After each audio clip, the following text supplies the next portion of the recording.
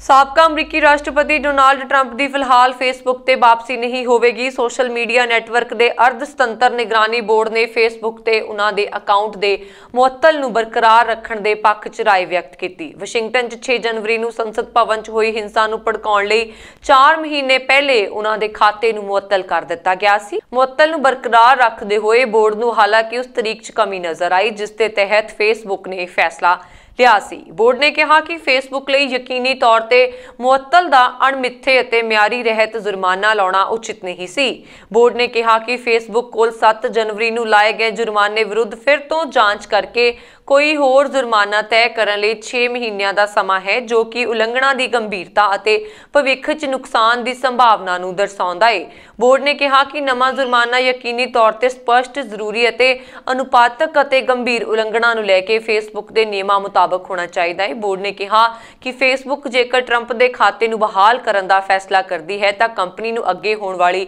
ਉਲੰਘਣਾ ਦਾ ਤੁਰੰਤ ਪਤਾ ਲਾਉਣ ਵਿੱਚ ਸਮਰੱਥ ਹੋਣਾ ਚਾਹੀਦਾ ਹੈ Trump micro blogging site Twitter ਤੇ ਵੀ ਸਥਾਈ ਤੌਰ ਤੇ ਪਾਬੰਦੀਸ਼ੁਦਾ ਕੀਤਾ ਗਿਆ ਹੈ